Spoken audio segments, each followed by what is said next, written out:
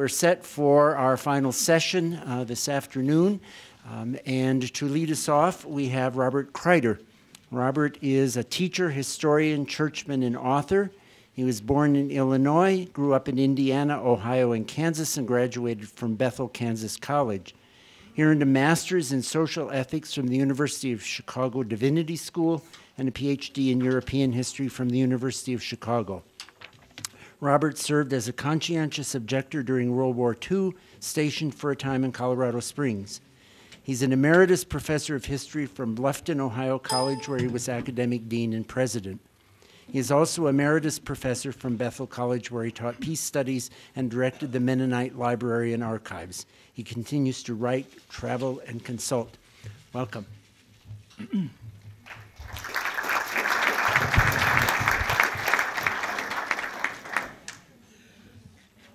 I am here to describe a national experiment unlikely to be repeated.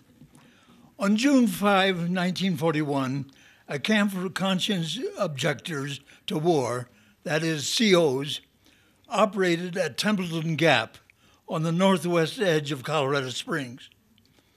Then the U.S. not at war. Colorado Springs was a peaceful town of 37,000 no Camp Carson, no U.S. Air Force Academy, no NORAD.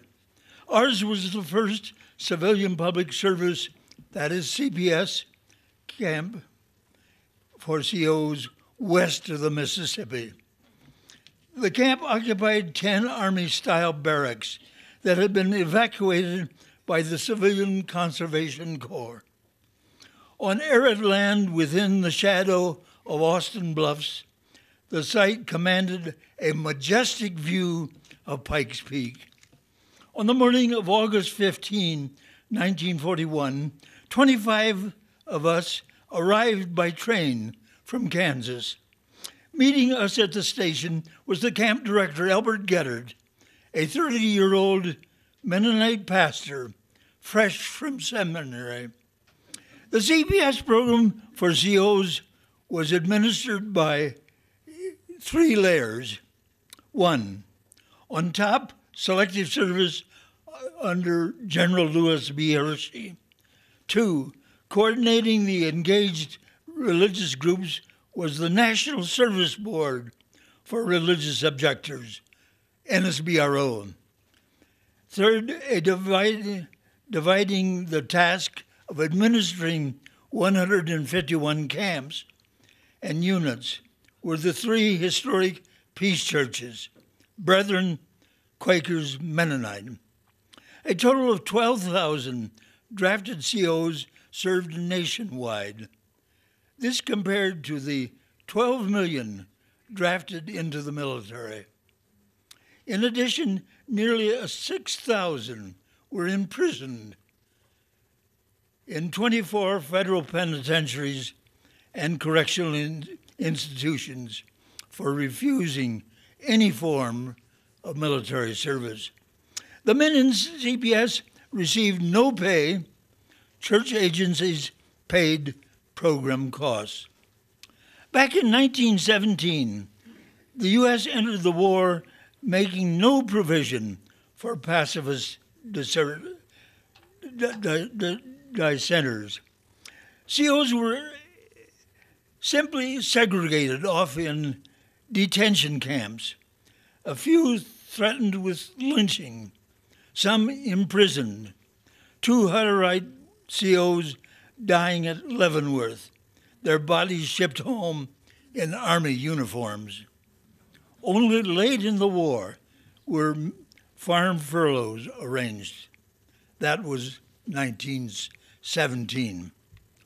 As a Mennonite, I knew from childhood that in the event of war, I would not fight. Close friends of our family had served as pacifists, COs, after World War I as relief workers in France and Russia. A family friend was imprisoned as a pacifist in Leavenworth.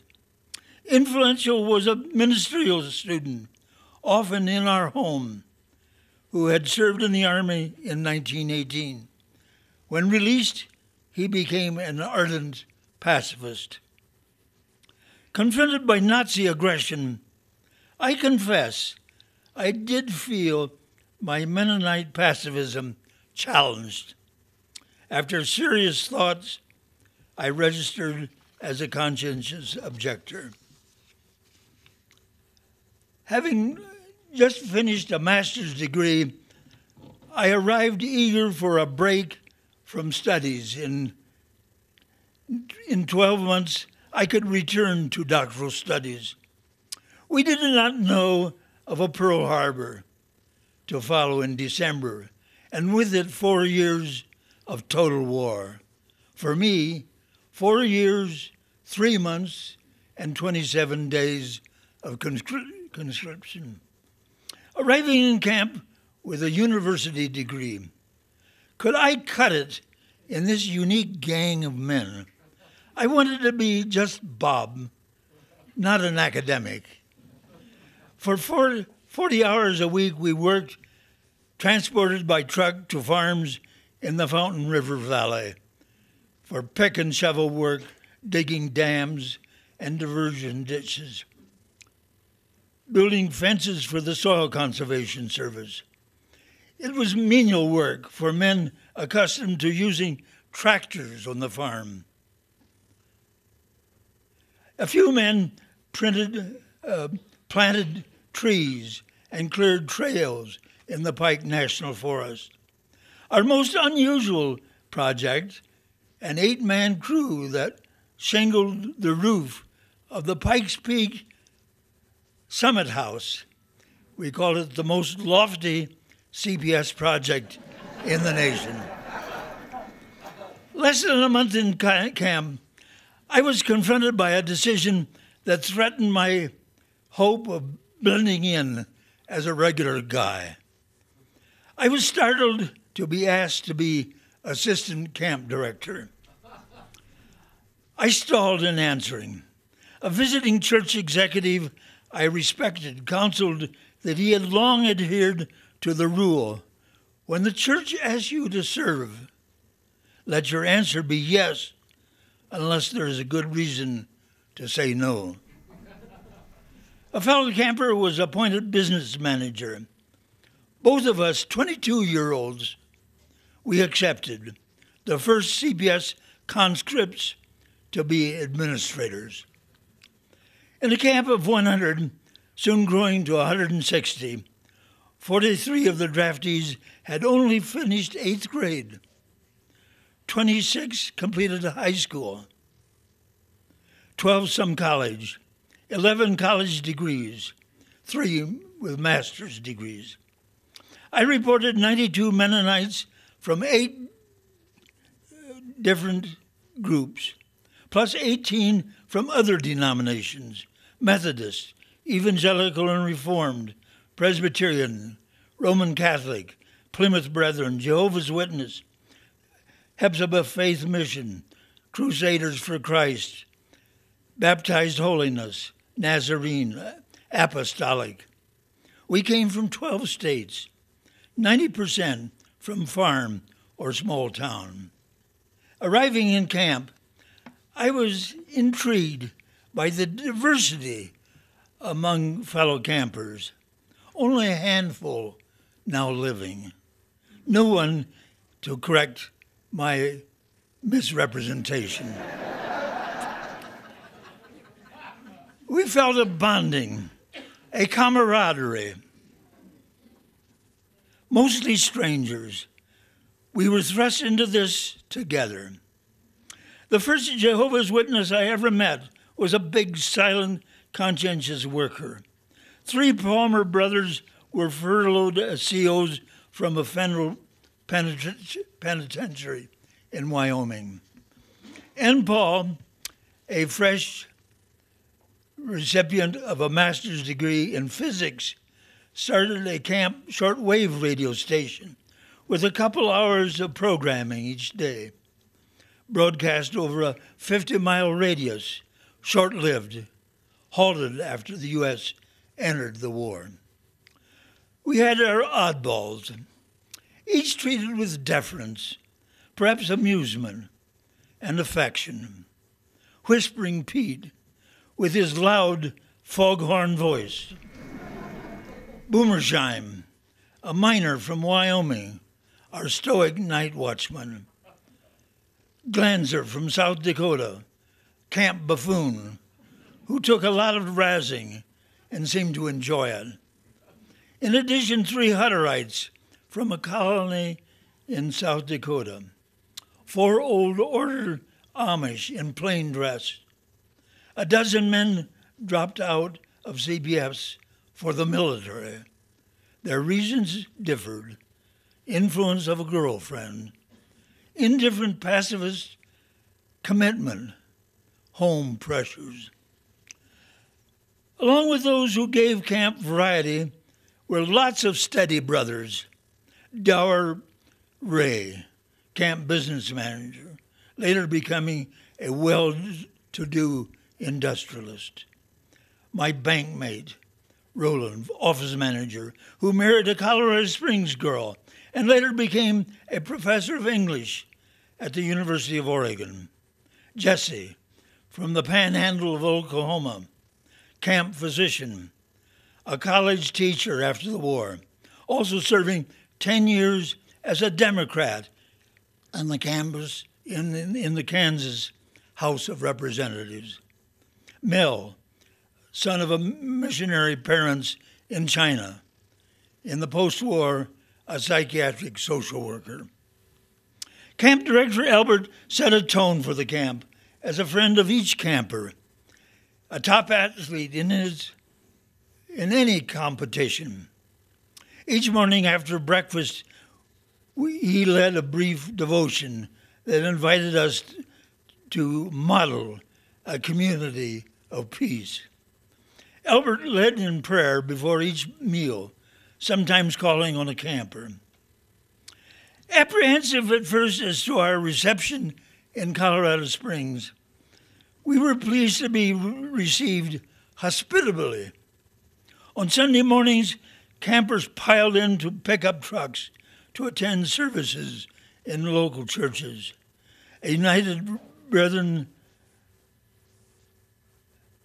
was the most popular congregation. It was a time to escape male society and to a normal world of all ages, including especially women. Many found girlfriends, several leading to marriage. En route on the train coming to camp, four men formed a quartet Hobe, Stumpy, Les, and Ike. Soon the quartet was in wide demand in churches of the area. On the Sunday night of Pearl Harbor, a group of us were guests of a mainline Colorado Springs congregation. Roland and I speakers that evening to an audience of 200. We treaded ever so carefully, anxiously aware that on the next day our nation would be at war. One of the first CPS camps, we drew wide interest from home communities in Kansas and beyond. Distinguished visitors came to observe this experiment in pacifist community living. Favorable articles appeared in the Colorado Press, our camp paper, the Pikes Peak Peace News, quickly acquired 800 subscribers. Central for me was the educational program I, which I coordinated. We launched a variety of classes for our, our evenings. Attendance was voluntary. Accounting, welding, livestock management, woodworking, first aid, music appreciation, and much more. The centerpiece was the core course, which integrated peacemaking with the several faith traditions of campers, an attempt at ecumenical education, including biblical study, ethics of peace and war, Tolstoy, Gandhi, Francis of Assisi. From Colorado Springs and our colleges, we tapped a dozen resource persons. Their services offered pro bono, some coming for a week, a few joining on work projects. The soil conservation staff, accustomed to managing a CCC camp of teenage boys, had problems coping with a diverse assortment of COs, most with farm skills and competent with power equipment, a third with some college, men impatient with petty routines. Soil conservation conservation, and forestry staffs were indifferent to environmental instruction. In July 1942, Camp Director Gaeddert was absent on a CPS assignment, leaving me in charge of the camp. One day, the men returned from war, from work, distressed that they had been shifted into publicized war work in sugar beet fields. I carried to the soil conservation staff the men's protest of being pressed into war work. The staff erupted by giving me a tongue lashing. They were highly indignant being confronted by a 23 year old draftee. Gratefully, I was backed by the National Service Board. The soil conservation staff did retreat. It was the low point in my CPS career. An official was remembered who hated COs, but when he was to be transferred, campers staged a farewell dinner in his honor. Campers spoke of him appreciatively Overcome with tears, he broke down, couldn't speak. Meanwhile, we staged celebrative events with good food and program, and this boasted morale. In June, a graduation program was staged for those who had served a year. It included a processional with audience rising, class song by the camp chorus, class prophecy, class will, band music, an address by Joe, our camp comedian, the awarding of diplomas. Later in June, a farewell banquet for camp director Albert and family. On the tables were napkins and flowers. The program consisted of, of a burlesque, dramatic review of Albert's life in seven acts, each act interspersed with special music. This gaiety came a week after the unpleasant encounters with the soil conservation and selective services. The camp bounced back. Reading daily the war news, we were restless to engage in work with risk, sacrifice, challenge. In 1942, opportunities began to open, calling for a wider range of skills.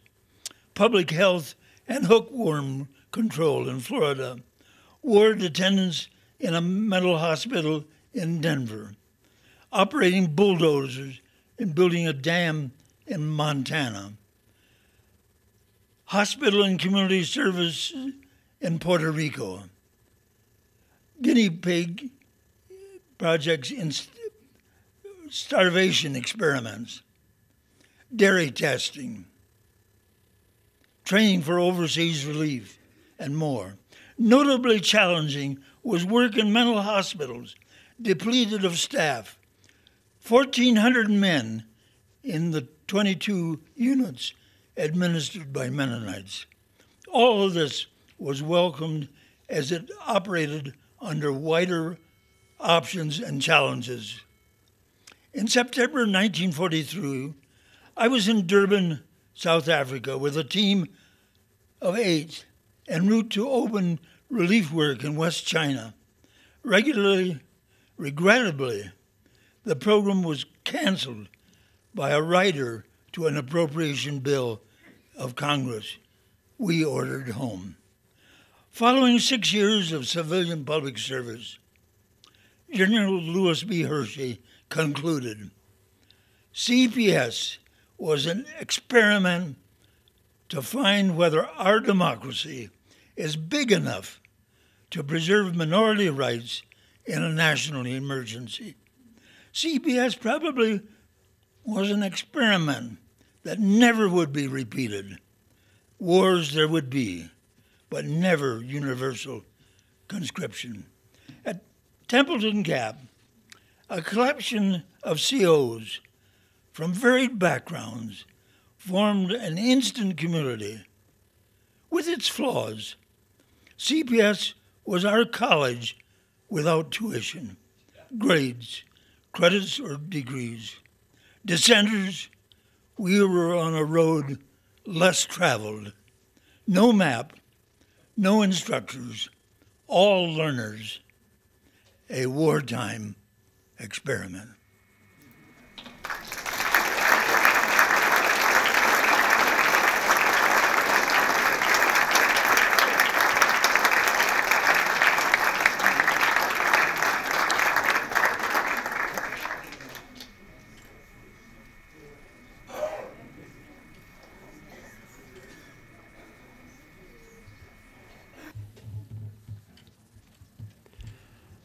Our second speaker this afternoon is Bill Sulzman. He's a peace activist who first came to Colorado Springs as an Army draftee in the early 1960s. Born on a farm in western Kansas in the last years of the Dust Bowl, he has traveled extensively, becoming a world citizen by choice, as he's described himself here, as a result of an important stay in Uganda in 1968. He earned a BA in history from St. Benedict's College, Atchison, Kansas, a BA in philosophy from St. Thomas Seminary in Denver, and an STL, uh, equivalent to a master's degree in Catholic theology from Gregorian University in Rome. Ordained to the Catholic priesthood in 1968, he spent seven years in the priesthood in Colorado Springs and Denver. After returning to Colorado Springs in the early 1970s, he became a military dissenter. Along with experiences as a taxi and school bus driver, Bill has 22 years of experience in soup kitchen work and since 1987 has been director of Citizens for Peace in Space, a local peace group focusing on military space issues, which has resulted in numerous arrests for civil disobedience. Bill. So I've, I've been there as, as not necessarily being an objective observer. Uh, not that anyone really is. But the, the subject that I'm going to be covering here, I, I believe the facts speak for themselves. Um, just some background. It was already mentioned. I was I was in the army at Fort Carson as a draftee, 61 to 63. That's the that's the fort we're going to be talking about. And I got out in uh, September of 63. There were 13,000 troops in Vietnam.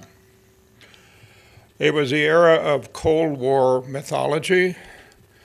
That was the reason the domino theory was in play, and that was what was driving the war. My experience in the Army led me to believe by the time I left that I would not take part in that war or any war. One of the crowning uh, experiences I had was walking around the motor pool at Fort Carson with a weapon during the Cuban Missile Crisis. And I look back on that as the, uh, the most absurd thing I ever did in my life. And that it was, it was tied into an ideology driving people into things that were really not rational. Anyway, uh, so I was, even when, as I left there, I was not prepared to start to learn what five years later was happening at Fort Carson. There were, of course, five years of intervening war, build up, escalation, uh, news of, of uh, atrocities. And as I knew then, to some degree, and as I found out a lot more about, there was dissent in the ranks on an unprecedented level. And uh, the, the, uh, one of the reasons this topic for me is very germane now, that reality is more and more scrubbed out of accounts of the Vietnam War. But as you look into it, that's what stopped the ground war and it ultimately uh, led to the stopping of the, both the air and the uh, naval operations as well in, in sequence. so we're down to 68 to 72. 68 things were really building at Fort Carson. And uh, this book was very influential, along with a couple of others, in getting me prepared for this.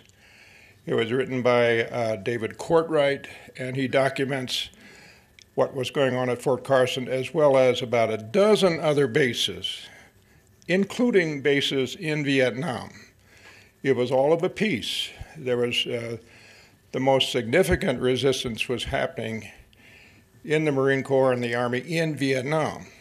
But as people came back to civilian bases, it was happening here, and they became a very important part of the peace movement. And the uh, photo on the cover is, I think, you know, very uh, instructive as to the anguish of the soldier there predicted. And um, I have a kind of a timeline thing here that documents some of the concentrated acts of resistance at Fort Carson. And as I say, they were mirrored around at various other bases. And we'll go through them, but then we'll come back to some of them in a little more detail. the first big thing I have there is the Fort Carson stockade uprising. Uh, five guards were taken hostage, and in order to restore order, 30 people were injured. It was hard to get any detail on that. And with this, as, as with a lot of other stuff, if there are people in the room who can help me be better informed, I would like that because I, you know, I, this is sort of a work in progress. But um, doesn't say how badly that anybody was hurt, but took a long time to restore order. The next thing on that list is the uh, GIs taking part in an anti Nixon GI civilian demonstration. And this was another part of what was going on at Fort Carson, being part and parcel of the peace movement in Colorado Springs. Contrary to this notion that the peace movement was at war with the GIs, the opposite was true. They often worked in concert, such as in this first uh, demonstration noted here. In the same month, the first Homefront Coffee House opens. It was a GI coffee house off base to get the cover of a civilian environment. It was on East Pikes Peak Avenue. Building is still there. We'll see a picture of it a little later. And uh, again, pointing out the joint nature of the peace movement, civilian and military some of the key staff were, had been recent graduates of Colorado College.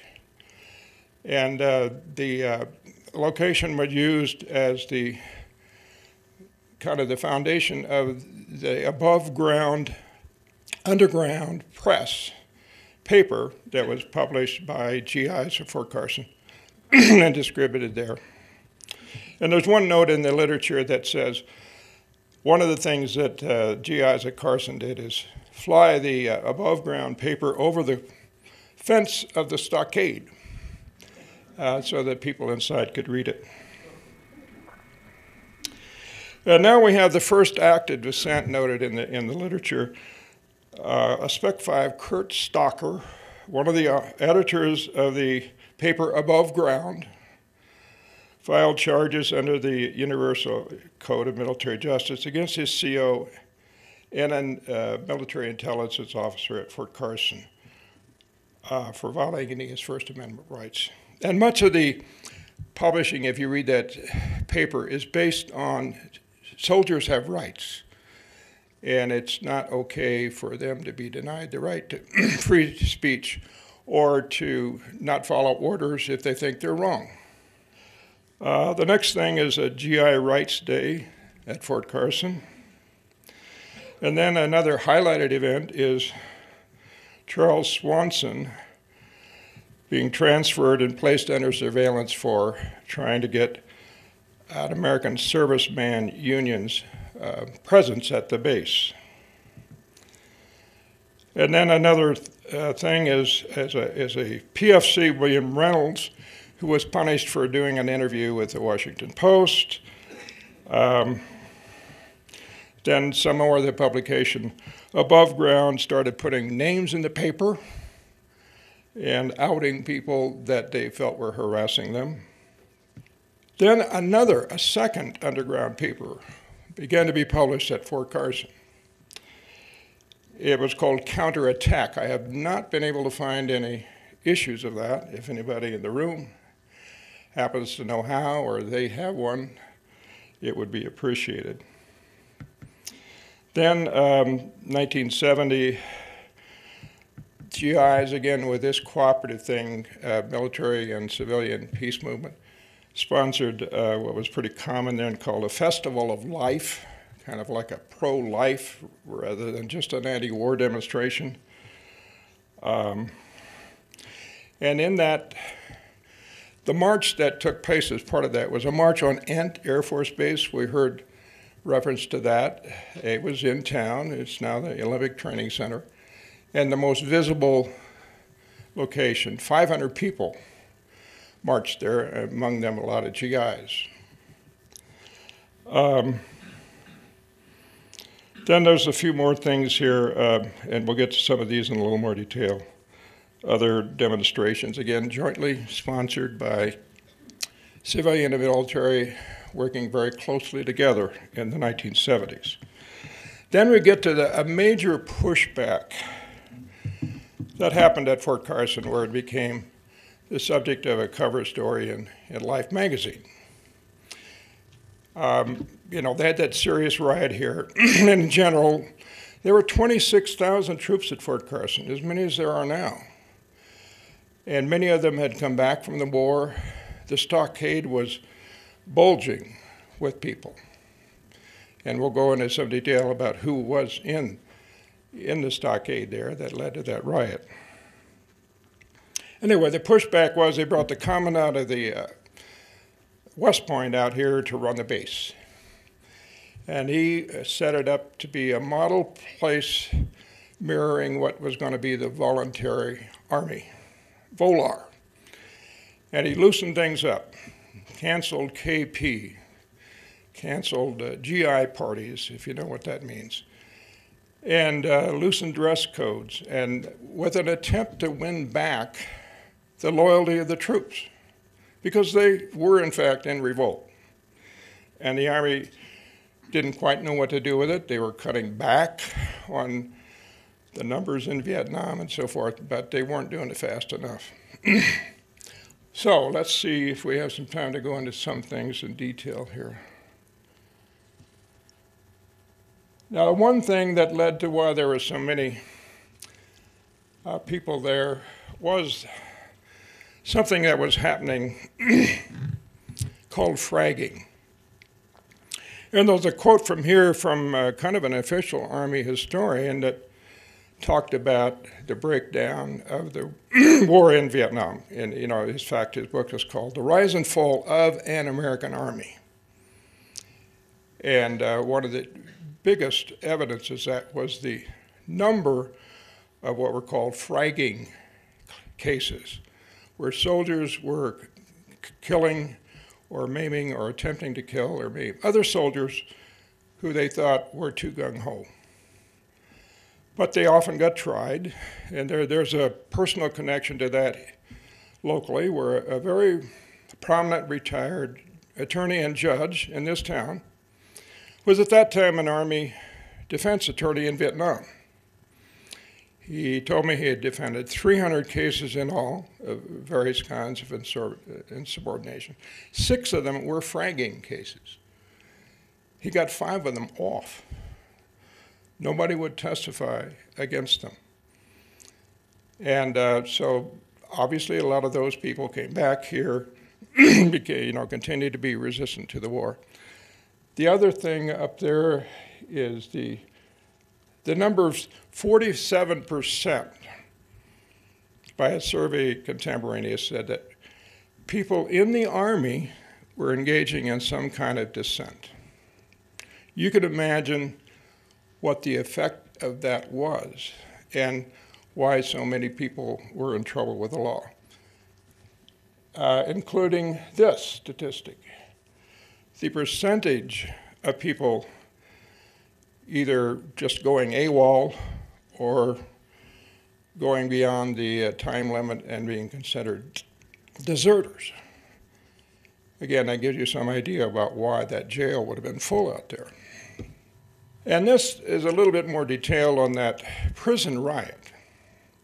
Hard to find details, but finally, the Colorado Springs Free Press, which is a predecessor of the Colorado Springs Sun, was able to dig into a story that got some of the basic details of how big a deal that was. Uh, they lost control of the stockade, and a lot of people got hurt getting it back in control. But um, the Fort Carson paper did not cover this. I couldn't find any place else other than the Sun, and they had a hard time. The TV had obviously covered it, and they were piggybacking on that, trying to dig into the story. We mentioned the uh, Homefront Coffee House. This is a picture of it then, and I think there's a picture of it now. So it's still there. Um, this is the story itself that appeared in the Gazette Telegraph. They did run a story on the coffee house, big story, and they talked about what went on there and how it was a center of GI dissent in the city, and that the newspaper kind of used it, their, their underground paper used it kind of as their headquarters too. And uh, most of the servicemen who visit the coffee house are from Fort Carson, although it is said that men from Ent Air Force Base occasionally drop by. They felt safe there, and so, um, again, that was their contact to the uh, civilian peace movement. This is another location of another drop in center that uh, existed at that time where people got um, counseling and so forth. Couple of quotes from above ground, kind of focusing on telling people what their rights were. And if they felt they needed to dissent, that they had some right to do that.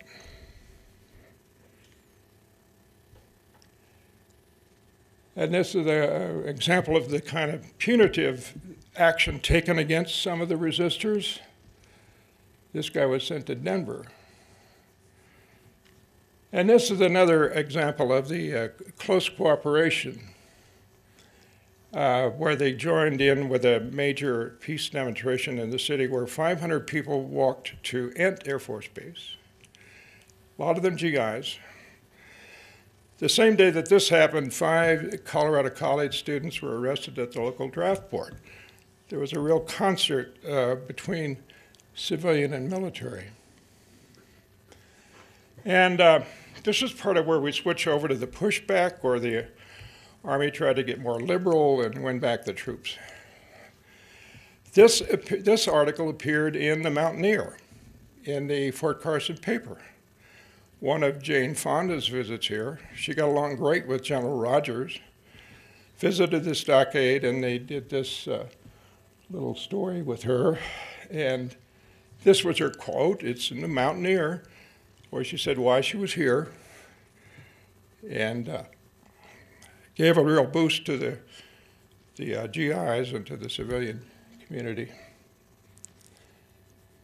And this is that cover story. This is in the Mountaineer again. They ran a cover, black and white photo of the cover of Life magazine, and here's that cover.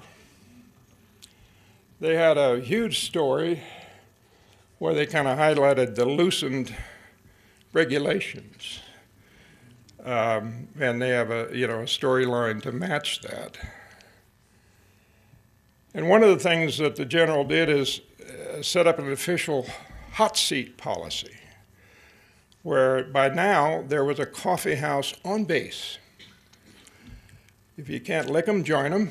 So if they're all running to town to, to get involved in this stuff, let's do it out here. And uh, in this case, I'm not sure who the office, it might even be Rogers himself, but they would assemble uh, a high ranking officer who would get peppered with questions from the GIs, showing that we are, you know, we recognize you have First Amendment rights, and uh, we're not afraid of that. Uh, and this is the, the other person who got heavily involved along with Jane Fonda was the cartoonist from the Chicago Tribune, uh, Bill Mauldin. He visited here and he ordered a complete set of Encyclopedia Britannica for the, the base. Another aside here is that a person very prominent in our community still was Rogers' chief of staff, David Hughes who uh, many of you will recognize from his frequent letters to the editor. But he was totally into this. You know, I, I talked to him for a couple hours. He was totally into what they did then, and it was the right thing to do, and he really liked Jane Fonda and all, all that stuff. Um, and, you know, we are politically a little bit different from each other. And here, the other, the other side of that thing, along with the dissent, was really making it, um, loosening up the social media out there, bringing in go-go dancers and and uh, trying to get things uh, free and easy so the soldiers would want to stay home and hopefully go back to war. Although by this time there wasn't much army, and the dissent the, within the ranks switched to the Navy and the Air Force as it became predominantly an air war and that included some graduates of the Air Force Academy refusing to fly B 52 missions. That's in the Cortright's book. That um, as the air war became the uh, action, then military dissenters, in the Navy especially, because they were doing a lot of the bombing, and so they began to stand up, refuse orders, etc., and finally brought the total end to the Vietnam War. Thanks.